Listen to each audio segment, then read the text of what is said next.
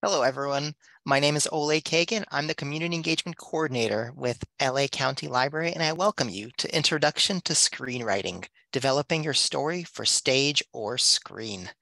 I would like to introduce our speaker for this evening. Felice Picano is the author of more than 30 books of poetry, stories, novels, novellas, memoirs, nonfiction. His work is translated into 17 languages. Several title, titles were national and international bestsellers, and four of his plays have been produced, several of them multiple times. Picano's first novel was finalist for the PEN Hemingway Award in 1975. Since then, he's been shortlisted and received awards for poetry, drama, short stories, novels in the UK, US, France, and Germany a former adjunct professor of literature at Antioch University, LA, Picano founded the writing workshops at the West Hollywood branch of LA County Library. He lectures internationally on vintage Hollywood, script writing, GLBT literature. And his most recent books are the Victorian era duology, Pursuit and Pursued, and the sci fi trilogy, City on a Star. And I bring to you today Welcome to the stage, Felice Picano. The stage Thank is you. yours, sir. So, hello, everybody. Okay, here we go. So, um, people say to me, well, you're a poet, you're a novelist, you're a story writer, a memoirist. How'd you get involved in this screenwriting business? And um, I did get involved in it quite early on um, in my writing career in 1977. And the way that happened was that uh, my second novel, Eyes, was a New York Times best-selling novel and was really pretty popular. And um, as a result, we got, uh, my agent got um, queries about optioning it to make it into a film or into a film for TV. Um, and the person that we chose was um, Cary Grant, the actor, the great actor. He and his wife Diane had a company called Brute Productions, and um, I flew out to LA. I was living in New York at the time and started having some meetings with these people. Um, besides Cary, it was uh, a variety of five or six people around the table. We all discussed various things. They all knew the book and they said, This is wonderful. Come back in a few days with a scenario for us to look at. Now, I had no idea what a scenario was, having never written a film before. However, I did have a um, outline for my book that I'd been using and that I had showed to my agent and even to my editor during the course of the writing.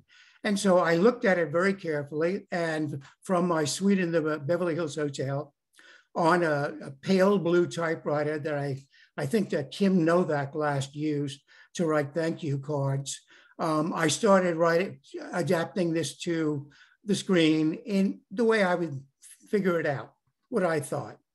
So I brought it in and two days later, and a couple of days later, everybody had read it. They called me in. They said, Oh, here's some ideas, here's some notes. And why don't you go and write the first act of your screenplay? Now I was in real trouble because I'd never seen a screenplay in my life. This was 1977. It was not 2022, where you can walk into any bookstore and buy a collection of screenplays by various people, uh, the screenplays of uh, Alfred Hitchcock's movies, uh, of The Godfather, of whatever movies are available. This was a closed industry as far as I knew. So what I did was I said, okay, that sounds great. And as I was walking out, I swiped a, a screenplay that was sitting on one of the tables. I went back to my hotel room and I inspected that screenplay from head to toe for a very, very long time before I started typing fade in. I do not recommend that you do anything like this. It is a terrifying moment at best when you do not know what you're doing and a whole bunch of people are depending upon you. But as a result of that, I really did get to know screenplays. I wrote that screenplay, and then several years later, many several others. And I did them in a different manner. So here's your introduction to screenwriting the way I've thought about it over the years and inspected it, analyzed it, used my own experiences. And if you have any questions, and I'm sure you will, um, please get back to us um, afterwards during the Q&A. So here's me. The basic tools. So these are the basic tools you will need. If you have a pen or pencil, or if you can copy this down, write them down. The first thing that you need is a log line one pager. You have probably never heard of that before in your life, so make sure you copy it exactly. The other thing you will need will be a one to two page summary of the main characters and subjects of your story. Now, this can be an original story. It can be um, a novel or short story that you've written, that you're adapting, a play that you or somebody else has written and you're adapting. It could even be War and Peace that you're adapting. You need a one to two page summary of the main characters and subjects of the story. And then eventually you will need a full script between 90 to 120 pages long, formatted correctly. And we'll get it, we'll get to that and all the details of all three of these in a few minutes. What is a log line? It is a brief but full summary in one page or less. It gives the title, the genre, and other information. If important, it gives the setting, several characters, and briefly, the story or action. So we're beginning with a brief summary. So you're going to be able to try to do this in a couple of sentences. Also, the title, the genre, and we'll discuss this in a few minutes, and if important, the setting, characters, and briefly, the action. Here is a log line, a typical log line. As you can see, it's pretty short. It has the title, Casting the Runes, the genre, and in this case, it's a historical sci-fi horror screenplay based on a classic short story by M.R. James. This tells the person who's reading it several things. By saying it's historical, it means that there are going to be sets and costumes involved. By saying that it's sci fi and horror, it suggests that there are going to be uh, CGI or they're going to be special effects, FX by saying the screenplay is an adaptation of a short story, classic short story by M.R. James, it says that the short story is already in the public domain and whoever is going to look at this does not have to pay extra for it. And that either that or in this, case, in this case, it's a classic story. But in some cases, it might be a screenplay adaptation of a uh, story that's currently in print, in which case you have to have the rights to that story to turn into a screenplay. Now, in the log line, it's giving more information. In a picturesque 19th century New England town, so we're specifying the historical, two brothers and their friends, including reclusive American poet Emily Dickinson, and a powerful demonologist who controls and kills using the spells of an ancient Icelandic runes. So here we have the basic story and several of the characters. We know now the setting is 19th century England, not 14th century India, not 13th century Italy. We know who some of the people are in the 19th century, and we know how several of the important characters Emily Dickinson, and this demonologist. They're going to be important later on. And this also gives the person who's reading the script an idea of what kind of actors they can get, or even specific actors they can get to play Emily Dickinson and this demonology. So we have a heroine and a villain. Some examples of genre. Genre is all important if you keep in mind the idea that um, every studio and currently television studio and currently streaming service has genres. And that they have a what's called a slate of films or episodes or TV shows, and they fall into different genres. A slate means that a particular company like HBO or like Disney has a variety of things that they are going to specialize in. So I'm going to give you some idea of some of the more popular genres that you'll be writing in and that are going very strongly these days.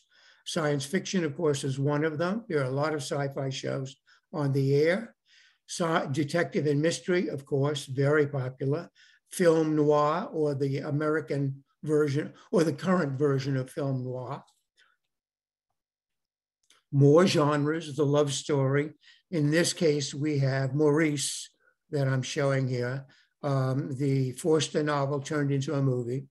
Action adventure, we know what, all of us know what that is.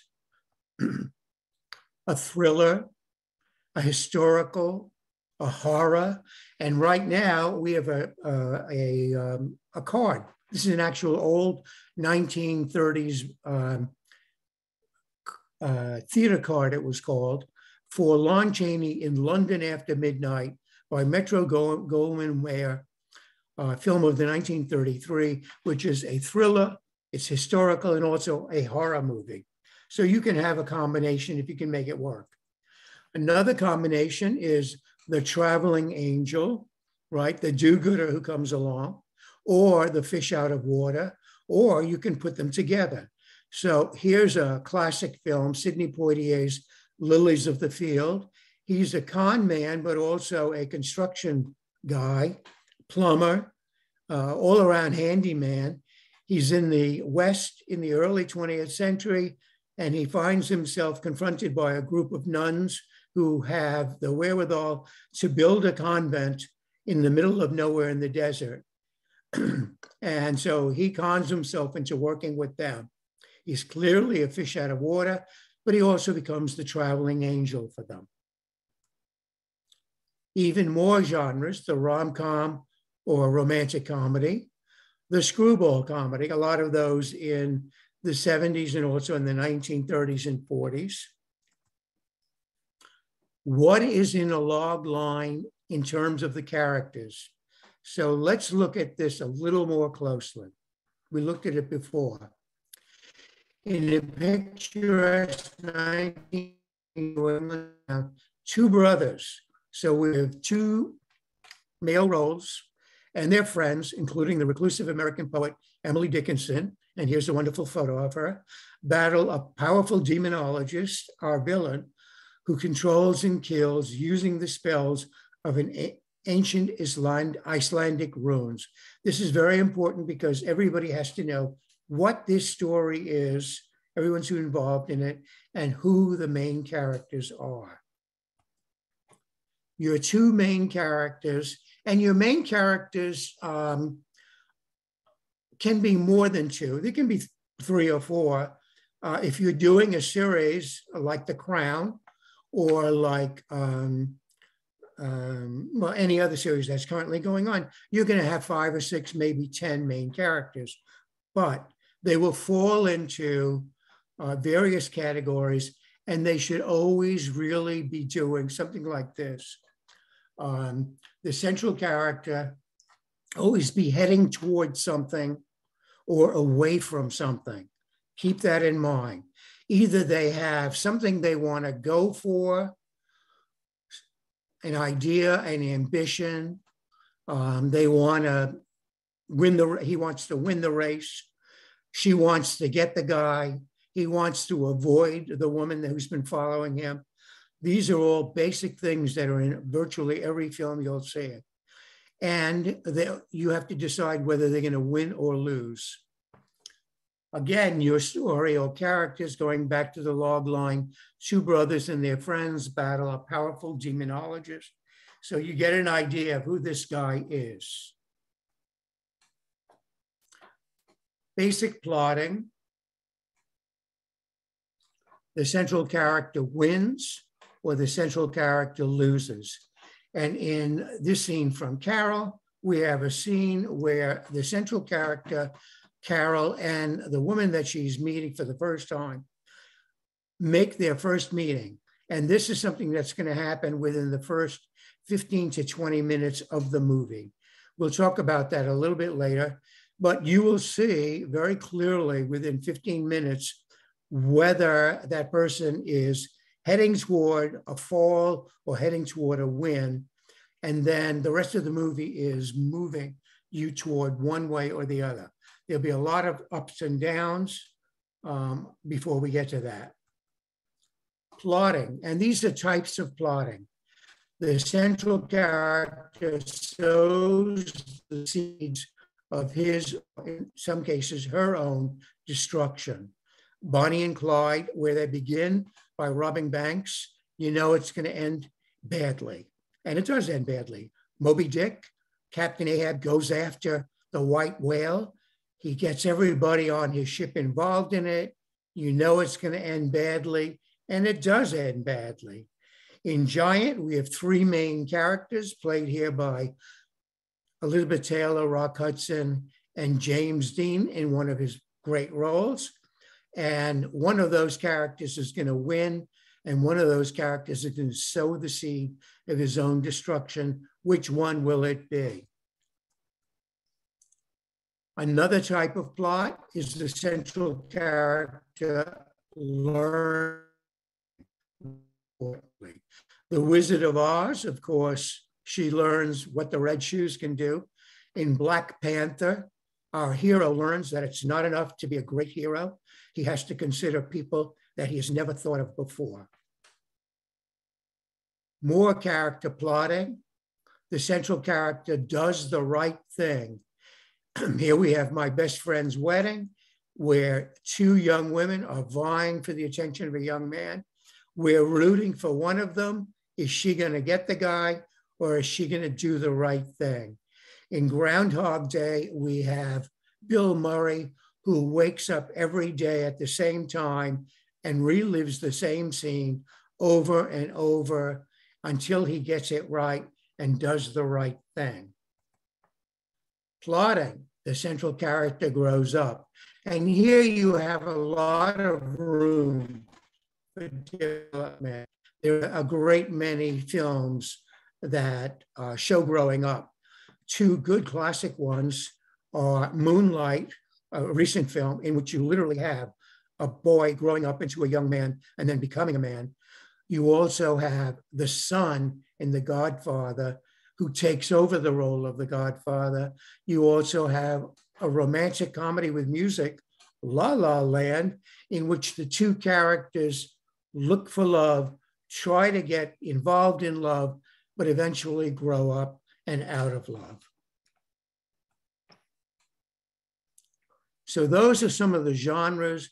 Genres of are, are of all importance in um, the film and TV industry um, because people want to know what are you writing? What are you writing? What are you acting in? What are you directing? What are you producing? And they can, you know, anybody can say, an actor, or actress can say, I'm in a romantic comedy, it's historical, and there is some thriller moments to it. So whatever. Okay, so your basic tools, now we're moving into number two. We've moved out of number one, which is the basic log line, right? And now we're into a one or two page summary of the main characters, subjects, and the actions of the story. It should reveal more or less a three act, eight part structure. Structuring for your, for your story, the backstory, there's always got to be a backstory unless you begin in limbo at the beginning of the universe and the Big Bang. So the backstory is an event or series of events that happen before the story unfolds. It may haunt your main character, leading to a character flaw. This is a fun um, excerpt by Cary Grant, and the man who turned out to be his lover for life in which there was uh, events that turned into um, something that had to be dealt with in the course of the movie. Structuring your story, the catalyst. So number one, you had the backstory. Number two, you have the catalyst. So even though there is a backstory, your, your story opens up balanced. It could go one way or it could go the other way. Within the first 10 to 15 minutes, the catalyst first upsets that balance, giving the central character a problem, a goal, or a mission. If this does not happen, there is no film. It is the upset of the balance of the beginning of the movie that makes the action begin to happen. Number three is the big event. It is an event that changes your character's life in a big way. It comes, as you'll see here, around page 20 or 30 of your script. In this case, um, it's a, a different Sherlock Holmes that's been done recently. And in this case, it's the destruction of the Eiffel Tower, which is a pretty big event, but it could be a personal event in which someone receives a letter that changes their life, for example. And it comes at this point because it is after the unbalance of the catalyst. So this is the third thing. The fourth thing is as the action is moving along, the midpoint or the pinch, and this is number four, this is halfway through the script, and it is another major plot twist. I said to myself when I first figured this out. Does this happen in every movie I've ever seen? And I went and I went into movies, I went on TV and I watched movies and I kept my watch. And from 55 to 65 minutes in, this always happened. So halfway through the script is another major twist. And it's between 55 and 60 minutes inside. It is often a point of no return or the moment where he or she becomes totally committed. We're seeing a scene from Rebel Without a Cause, the great 50s movie. Here's James Dean and Sal Mineo. Sal Mineo plays Plato, Plato, the guy, the nerd guy who everybody hates. And at one point, the new guy in school, the cool guy, says he's okay. And he does it by kissing him on the cheek. This was not even in the script it was he was supposed to show some good thing to to uh, to present this idea that Plato was his friend. And the uh, director Nicholas said when he did this, it was perfect. Structuring the crisis. the crisis is something, it's number five. This event forces a crucial event to occur Often it is simply a low point or when everything looks lost, when the lovers are separated. It is the down point. Next is the showdown or the climax. This is when the central character and the opposition square off. It, it, often in action films, it is the final fight or battle. It can be a 10 minute long chase sequence. It often is. We've seen here from the 300, it is where this battle that has been prepared for the second half of the film actually takes place and people win or lose. Next in structuring is the realization. It is during or just after the showdown. Sometimes it happens right in the middle of the final battle, the final chase scene, where the audience realizes that the central character has grown, has changed, or figured something out. Now, this is very important, this line, because what films have in common with novels and often with stage plays, but not always, is that the central character has to grow change, or figure something out. And here we have the final scene or the final minutes of uh, Titanic, where uh, the woman who had been adored at, and saved uh, from the sinking of the Titanic realizes that what she has to do is sacrifice the jewel. And then we have the final moments of your um, script after the realization of the or the last piece of action um, win or lose, this is the last scene that you are left with. And it's very important. This is from uh, a wonderful movie, which you haven't seen, go see. It's called The Starman. Um, it was done uh, by uh, John Carpenter, uh, who mostly makes horror movies. And it's the very last minutes of the movie where the Starman leaves uh, Earth and gives a gift to the woman who has been so good to him.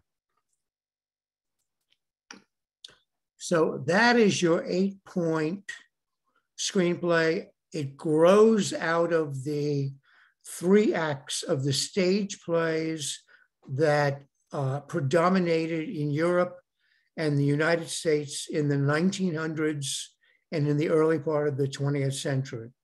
Before that, there were five acts. If you go to Marlowe or Lope de Vega or Cervantes plays or Shakespeare, those are five acts. By the 19th century, they were in three acts. Um, and the um, American screenplay is a derivation of that um, three act screenplay. so now a full script is between 90 to 100 pages long, formatted correctly. And they can be longer, it can be shorter. But the reason for that is that when you start looking at the screenplay, it actually means that a 90 page screenplay is 90 minutes of screen time. So let's look at what a screenplay looks like. How does it tell everyone on the set what to do. Because that's that's what a screenplay actually does. Everybody on set has a copy of that screenplay. In many cases, it'll be um, underlined for the actor or the actress, or for the script person, or for the sound person when they have to do something, or if there's a special effect. Fade in, everything begins fade in.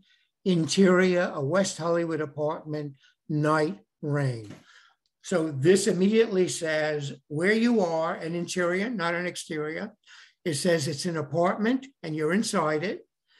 It is at night, so that shows what the lighting is going to be inside and out. There's rain falling that means that there's going to be rain falling if you're looking outside, and you have to hear that rain falling. So the sound people have to do that. So there's a whole pile of instructions there. Next, a small, modest living room. This is important, as we'll discover later on. Two windows prominent behind the sofa. So we have a sofa, we're looking straight on at a sofa, two windows. In back of them, we have night and rain on the sofa, Lynn Barrett Laborde sits, she's main character. She sits, reads, marks, and takes notes from something. So we have more information there. Above the sound of the rain, we hear three sharp knocks on the window. Sound person has to develop the rain and interfere it or cover it over with three sharp knocks. Lynn jumps, that's action, startled out of a reading. Lynn leans over, more action, etc., etc. And then we get to Byron, who's looking in the window and who says, Janice. Janice isn't here, she says. Byron says, I'm hurt. Some characters are after me. So we have a second character, Byron. Lynn looks outside. We hear another voice belonging to a thug. Thud, third character. You see anyone? Guy tried to jack my car. Lynn then moves over to the back door, holds up her cell phone, cell phone, says to the thug, You're trespassing. Do I hit 911? Do I call the police?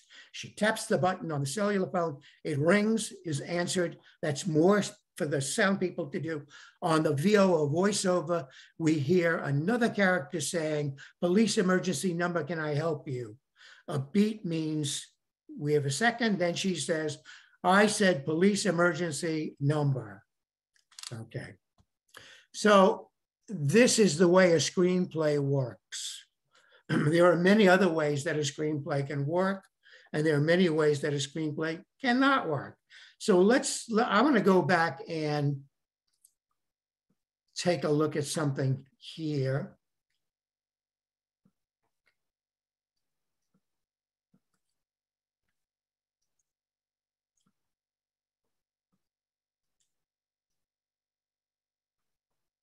I want to look at more characters that we had. I want to introduce another character that's very important among our two main characters. The antagonist who's determined to stop or hinder the central character. My finger pushed the forward button too far. Um, he or she is consciously or subconsciously against the central character or the central character's goal. so keep that in mind. Now I'm going to move us down here a little bit further.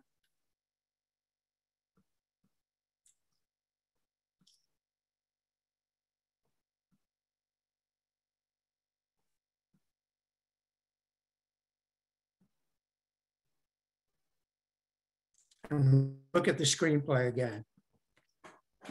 So here we have the whole thing. Lynn, so Lynn jumps, startled out of her reading. Lynn leans over and clears mist from the window to look out. Sorry, Felice. Um, if you want to make the that slide big, go ahead and click a from current slide over at the top. Yeah, but I want to. I, I don't want to. I oh, wanna, you want to? Yeah, I want to be able to utilize it. Okay, sounds good. Okay. Um, Lynn leans over and clears mist from the window to look out. A leather jacketed lower arm taps the window again, so we have to see that. It belongs to Byron Scotty. Lynn withdraws from the window, then opens it an inch.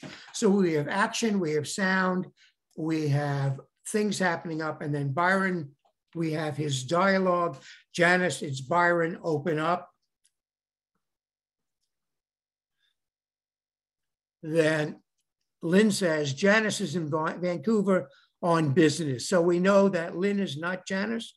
We did not know who she was before. And then we start going into the, the, the, the split. So we began it, as I said, on the eight part thing with this woman sitting there, rain, everything's very quiet. All of a sudden, there's a knock on the window, and that upsets the balance and sets it in motion. This guy, Byron, then says, I'm hurt. Some characters are after me. She seems to know who she is, who he is, even though she is not the one being addressed. Then a thug appears. So we have a third piece of action taking place here, another complication. Lynn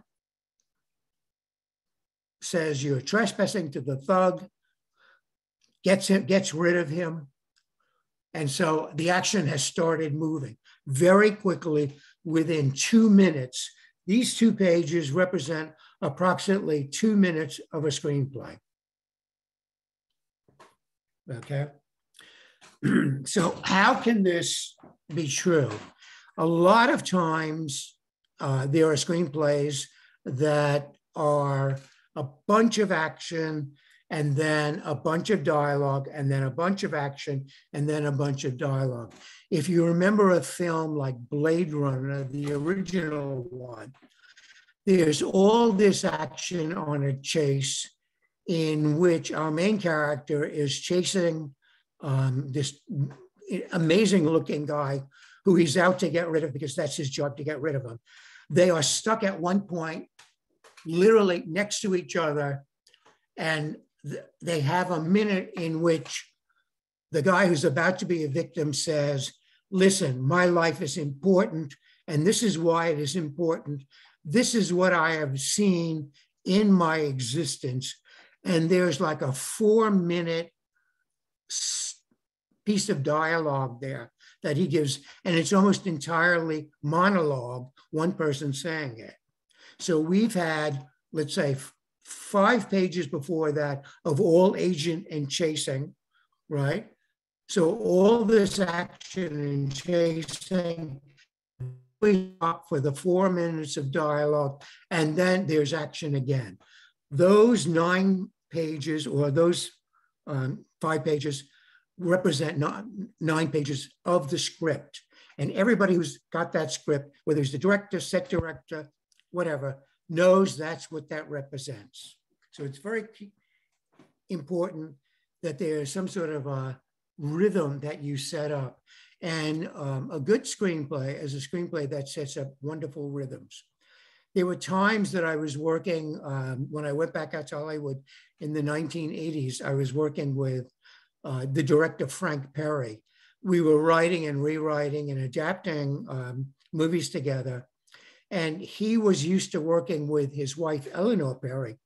They had done maybe 15 movies before that, 10 or 15 movies. Before that, uh, they had won Academy Awards for some of the movies. She had, they had then uh, separated in life and in work. And she went ahead and started working um, on her own with other directors. She wrote Apocalypse Now. Um, she was involved in uh, the second Godfather script. And um, he was on his own, but was used to working with someone. So he and I were working together. And in some cases, we were right in his office in Beverly Hills, and we would write a script, four or five pages of a script, and then act it out. And this meant that at times we would be really chasing each other around the room, uh, hiding behind furniture, saying the lines from the scripts that we had in hand, um, and working out the rhythm of what was right in each one. And he always knew what the rhythm was that he wanted because he knew the rhythms that he filmed best. so uh, that's something to keep in mind. You may have your own rhythm, and once um, you have a screenplay that's accepted and it has not um, gone through rewriting. Many of them go through rewriting, uh, all kinds of rewriting. Um, one of the reasons why it will go through rewriting, and you'll discover this only later, is because you and the director, or you and the main actor, who may be also the producer, um, have to get get all of your rhythms in sync together. Last words, and then I'm going to open it up because there's a lot of information here. Um, and I think I'm sure you'll have lots of questions. Um, Hollywood isn't just a place of glamour, it's a working place and all over the world now, which is something you're aware of.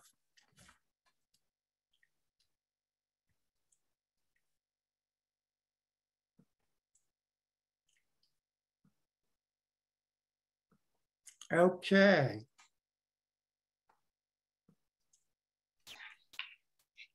Hi, Felice. Thank you Hi. so much. Hi. Thank you so much for such an informative and fun presentation. Good evening, everyone. My name is Sharmitria, a librarian with LA County Library, and I'll be taking us through this uh, Q&A session. Um, fair warning, we do have a good number of questions, so we'll try our best to get through them, but uh, no promises. If you do send a question, please make sure it goes to the Q&A, or um, if you put it in the chat, make sure it goes to all hosts and panelists. For those of you who do have to leave now, thank you for joining us tonight. We hope you enjoy this presentation uh, with Mr. Picano. If you wanna watch the Q&A later, as well as this whole video, uh, visit our YouTube channel at LA County Library. This program was recorded and the video will be uploaded there soon. For the latest news and upcoming virtual and in-person events, please follow us on Facebook, Instagram, Twitter, and Twitter at LA County Library. Now, let's get started with the questions. The first one that we have is, and this is a two-parter, what can I do as a beginning screenwriter to practice or prepare for future jobs? What can I do to prepare myself for what that type of occupation could look like? Uh, if you want to write, if you really want to write screenplays, write some screenplays. Go and get them out of the library, read five or six of them, watch the movie or TV show or the TV episode, and try to do it together um, and try to see where they fit, where they don't fit. It's the type of thing where it's in many ways it's easier to become a novelist or a poet because we've started reading that very early in our lives, most of us, as uh, compared to reading or watching uh, films um, or stage plays. All of us probably have seen TV from a very early age, and that has its own format, and there are TV formats to go along with it. Next question. Awesome. Thank you. I was just catching everyone else's. We're getting a lot of questions, guys. This is great. So um, can a writer start with a treatment before writing the screenplay and or the opposite sequence of these two documents? Absolutely. In fact, um, a really good idea is to write a treatment. Um, start with the log line just to get your basic ideas down on one page, and then start writing a treatment. And it can be as long as you want it, but make sure that before you show it to anyone, you will have one page of a log line. That will be your cover page. And your second and third or fourth, fourth sometimes fourth pages will be your treatment. People are not going to read a treatment that's longer than two or three pages. They just don't have the time. Awesome, thank you. So um, a question just about the script structure, I think. How is the catalyst different from the big event when described in the one to two page summary? Okay, the catalyst in that screenplay that I put two pages up was Byron knocking on the window. And as she goes to let him in or to respond to him, a thug appears.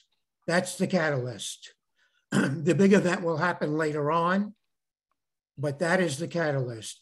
The cat, it's like chem, in chemistry, a catalyst is something when you put two things together and you add a third thing, something happens. It fizzes, it explodes, it goes bad, it goes down, it collapses. A cat, catalyst is no different than that in a screenplay.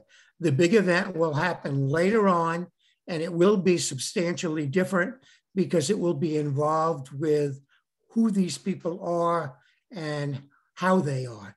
Whereas the catalyst could be anybody, it can happen to anybody. We don't care who these people are when the catalyst happens, it's happening quickly. Great, thank you. So, just in general, there's a question any tips on how to overcome writer's block?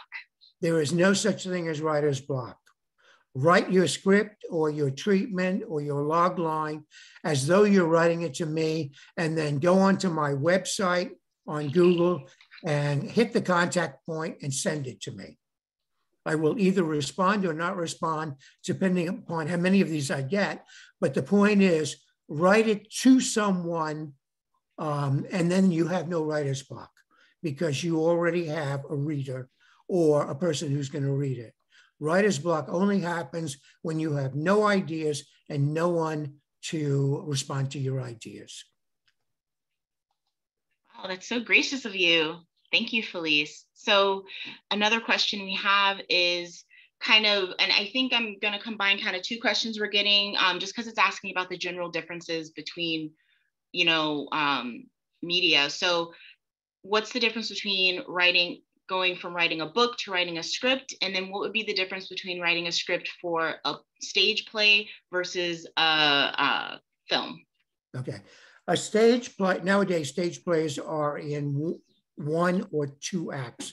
Generally, they are in two acts, um, and they are similar to that eight page or eight part um, screenplay in that the first act or the first four parts ends with a big turnaround, a big surprise, a big shock. Very much true in the theater. It does turn around all of the action. And when it leaves people going outside to drink their coffee or have a martini or eat some peanut butter, um, and they said, Oh my God, I can't believe this is happening. I've got to see what happens. I'm going back for act two. So that's how a stage play works. Um, writing it is only a, a, sense of can you see people on a stage doing all of the action?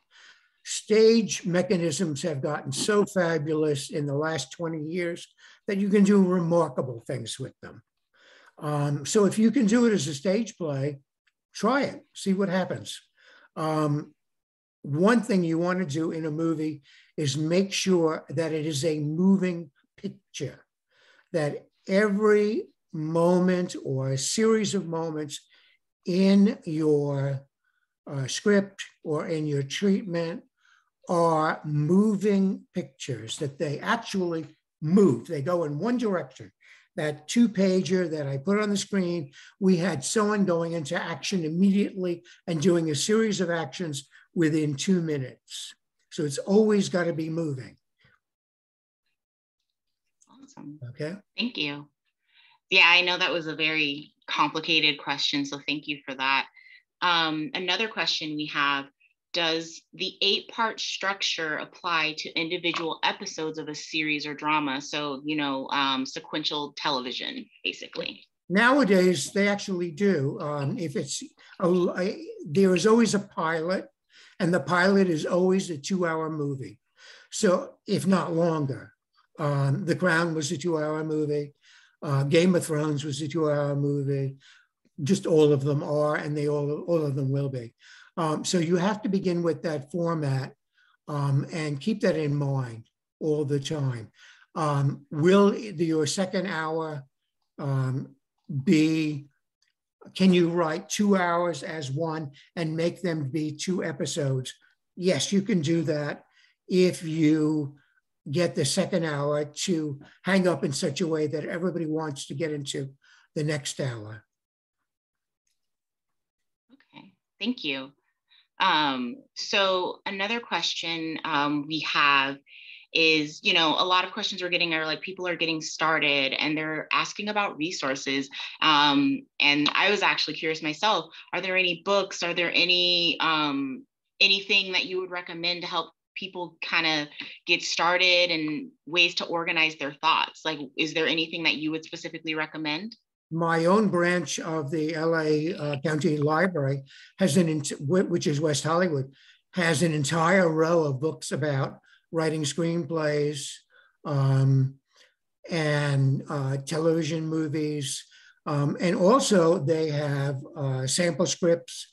They have large, you know, coffee table books on movies, um, what they look like photographically. Some of them are almost page by page. Um, there's enormous resources.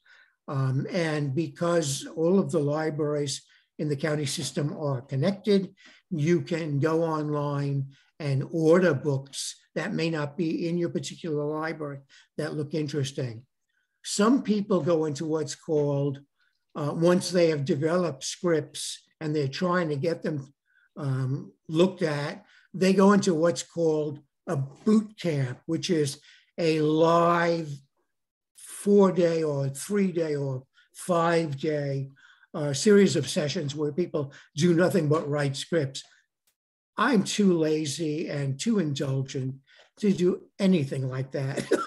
but if if you really need a structure like that, by all means, try it out um, and let me know what happened. Thank you. Thank you, Felice. So another question um, with regards to writing a script. One, are there any like ideal places to pitch your script? And then two, how, and this is combining several questions that we're getting to this effect.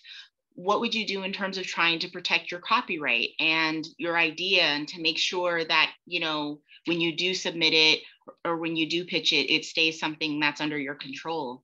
Okay, everyone write this down right now.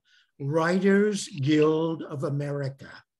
The Writers Guild of America is what you will join as soon as your first script or TV episode has been purchased or has been optioned and they're about to do something with it. It is automatic. You have to join it um, in order to get your thing done. You want to join it because they're extremely protective before you join it, you can go to them or go online to the Writers Guild of America.org and you can um, have your scenario, your log line, your treatment, or your script protected there by them. They do a, uh, in effect, what is a pre copyright copyright and they will then give you a number which will say WGA so and so, so and so. If you um, can look at my, that script I showed you on the very top left hand side, it's uh, WGA, and there were seven numbers. It had been protected by the Writers Guild of America. They are they control the contracts you have, which can get very, very complicated and involved. So that much I can tell you what to do about getting agents and about getting um, scripts done. There's a variety of things that you can do, and you should look into various books and magazines about that. Thank you. Next so, um, another question um, is we have um, an attendee who has an inclination to write comedy and they're coming up with several ideas for comedy movies and they're asking would it be better to take a course on comedy writing or on screenwriting? Should either course be taken online or at a college? Do you have a recommendation? And i know you kind of answered a little bit but this is specifically about comedy writing. Right. Um, comedy writing is still television episode writing or which is you know 47 minutes to the hour, unless it is no commercials, in which case it's about 54 minutes. Um, so there's that specific format and time. And that breaks down if you're doing commercial television in a certain way. Um, but if you're doing uh, movie comedy writing, it's a standard um, TV uh, movie script. Uh, how is it different? You have to be funny there, what I talked about before about rhythm is very, very specific for comedy writing. I don't know if there are any particular courses. There are probably books on comedy writing um, or online courses. I would take a look at them and see, go to Yelp and see what people thought about taking that course. Because um, it might be that you're spending your money when you don't have to there's something called everybody does when a film um, has the script has been approved, it's ready um, for TV or, or a movie. There is something called the table read. That means that some of the actors, maybe not all of them, but some of the actors, the directors, sometimes the producers, often the writers or screenwriters, will all sit down in a room and everybody will read the script. It takes place sometimes over four hours, sometimes over three hours, sometimes in two parts. At that point, the rhythm is determined. People figure out whether the, the it's going or not. In that case, uh, there is always a table read uh, taking place um, for comedy. Um, in shows like Saturday Night Live, uh, you are hired, you put in uh, the the um, funny things that you have, five pages of jokes, four pages of stories. Just send them in. Um, make sure that Writers Guild of America has seen them and that you've got them uh, registered there. Send them in with the registration number. And if they're interested, they'll contact you. They're always looking for uh, comedy people. Next question. Great. Um, here's a question uh, we have Can you pitch film ideas without a completed screenplay, just an outline? Yes, yes, you can. And often people do. And sometimes people have done it and regretted it. and, and sometimes people have done it and have been very happy to do it and have been very happy to do it. Um, I've never put myself in that position after my first incredibly humiliating position. Um, but other people have, and they will um, tell you stories about how uh, somebody uh, actually bought their script on a treatment and four pages. um, a lot of times, if there is somebody connected to the script, this is something you should know if you're getting involved in the business they will say, here's my script. Do you have anyone connected to it? Anyone connected to it could be a film director, it could be a producer who's willing to back it, it could be somebody who has produced stuff in the past um, and is willing to look at it again. It could be an actor or actress. When I've done this course live, people walk in the room and say, Can you give my script to Denzel Washington? and I say, I don't know Denzel Washington. Flattering though. flattering Yeah. that but I mean, it's but that would be a connection if you knew Denzel Washington or your aunt knew him or your barber knew him. You can get your script to him. That's your connection. Get the script to him. Next Great. question. Thank you. So, um, kind of in this line, you know, you said either or. Sometimes it's it works out to send the script, you know, not completely finished. Uh, but another question we have is, what are some do major do's and don'ts for writing a screenplay, for pitching, um, and the whole situation with uh, screen screenwriting? Okay. So you should have someone in mind. That someone could be an actor, it could be a director, it could be a producer, it could be a streaming service. Um, if you're going to Walt Disney, you're going to have different material than if you're going to Showtime or HBO. You're going to be having family friendly material, what they call family friendly, because that's what Disney does. You don't want to have on screen rapes during, during your script, right? Mm-hmm. HBO, they don't care, right? They're okay with it.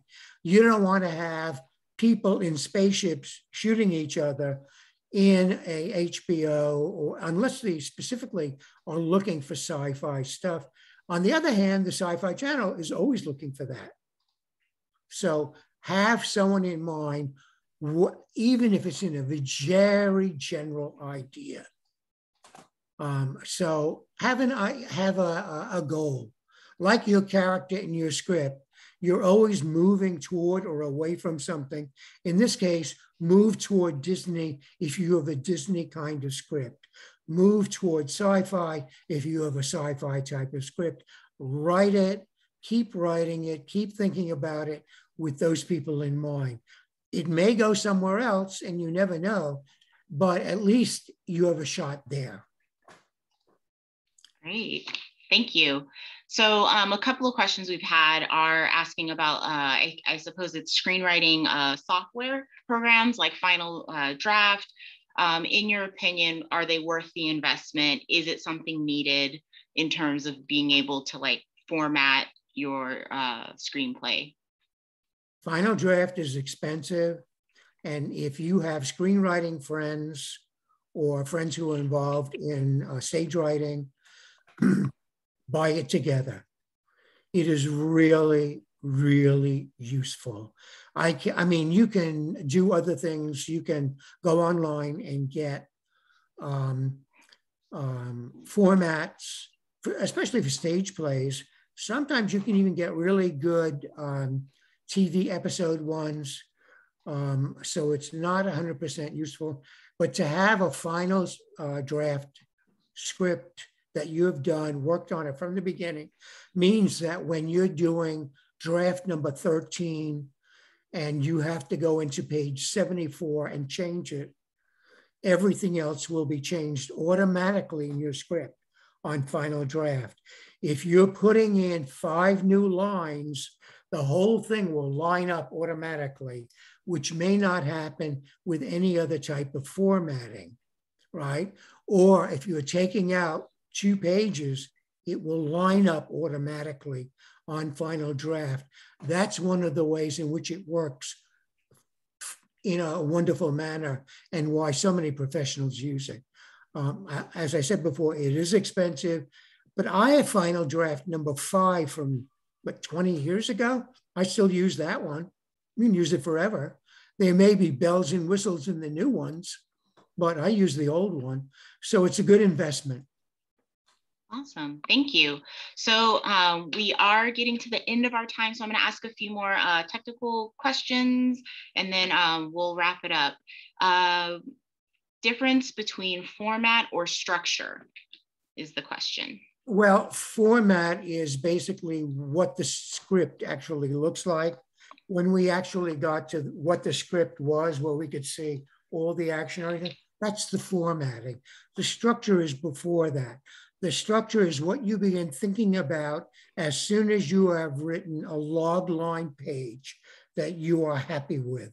Once you have that log line page, then you start breaking it down into a eight part structure or just start writing it as a treatment and then try to see if you can fit this fit it to the structure. At the best or at the worst make sure that it is at least divided into two parts. That is very very important. There has to be it's a stage play or a screenplay. There has to be a stop in the middle in which everything turns around or develops in a new direction or an unexpected direction. That is very important. If you can do that, then look at that first part, see if you can divide it again. If you can divide it again with the catalyst and then the big event, after the big event, you have part two. You have part one, part two. I mean, you just move right ahead. So uh, formatting is the actual script itself. The structure is what you're doing before that in your treatment after your log line. Great, thank you. So we'll go for one more question. Um, this again has been asked by a few um, a few attendees. What would you say is the best genre to break into Hollywood if you're a new writer, or as someone put it, like what topics or genres are hot right now? What are studios looking for, in your opinion? Well, what studios are looking for and what you like are two different things often, and you really want to be certain that if you want to do screenwriting or TV writing and you only watch horror movies that you're not going to start writing a comedy, no matter if, even if all the comedies in the world are hot. Uh, you have to think about people who have started their careers like M. Night Shyamalan writes a type of horror, thriller, supernatural movie that nobody else writes. When you look at a movie like Get Out or Nope, Jordan Peele is writing a type of movie that nobody else in the world is writing. But you can be sure he wasn't watching Disney when he was thinking of writing movies. He was watching the movies that he liked that were supernatural, that were horror, that were thrillers, that were really grab your guts types of movies. So before you decide what the uh, business is looking for, because keep in mind that changes and it changes in a way that is completely unpredictable. So keep in mind, while they're looking for certain things, you have to be online with what you're doing. If you manage to sell a treatment and somebody else writes the screenplay, if you manage to sell a screenplay, keep in mind it is a two to four year process before that film is going to hit the TV screen or the big screen. So, what happens yesterday uh, on Showtime or on HBO is not going to be happening four years from now. It is in many ways better to do something original that you would really love doing and that you think you can make a, yourself a name in than to follow everybody else. so that's my suggestion in that. You can watch all the movies you want, you can watch all the TV you want and see what's currently hot. But if that doesn't get to somebody for two years, all of that might have changed by then. Awesome. Thank you. Well, what you love. Yeah. Write what you love. That is a great, that's great parting advice. Thank you so much, Felice. Well, thank you everyone for being here. That's all the time we have for questions. This concludes our program. Thank you to Mr. Picano for joining us and thank you for attending our program this evening. If you want more information about our other virtual programs, visit our library website at lacountylibrary.org. For the latest library news and events, please follow us on social media. Thank you everyone. Have a great rest of your evening. Bye for now.